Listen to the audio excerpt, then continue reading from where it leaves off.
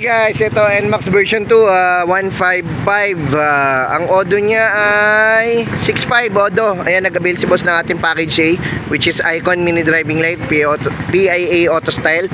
So, sample demo ko lang guys yung kinabit natin, yung wirings natin dito, gaano kaganda. Yan yung low beam ng Icon pa lang yan. Grabe, lakas.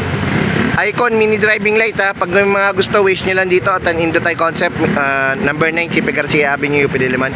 So yung high beam niya, ayun, boom blast. Low beam, solid. So guys, naka dual horn to. Siyempre, ah, dito natin nilagay yung hollow switch niya for the dual horn. Stock na walang rapid, walang combo. Pagka switch mode mo siya, siyempre PAA, ayun tunog. Tapos sa pag diniinan mo, rapid. Hindi na nagpalagay ng pass light si boss. Ah, later on na lang siguro pag napag-decidean niya. So guys, ah, lahat to stainless bracket na ginamit natin. Tapos Denso Japan relay. Siyempre, ah, Japan wire, Nito tape. Ayan. So sa may mga gusto ng ganitong setup lights, wish nyo lang at an Indotay concept. Dito yan sa number 9, CP Garcia Avenue. UP Diliman, Quezon City. Ayan. So may nakasalang pang ADB tsaka PCX. Ayan.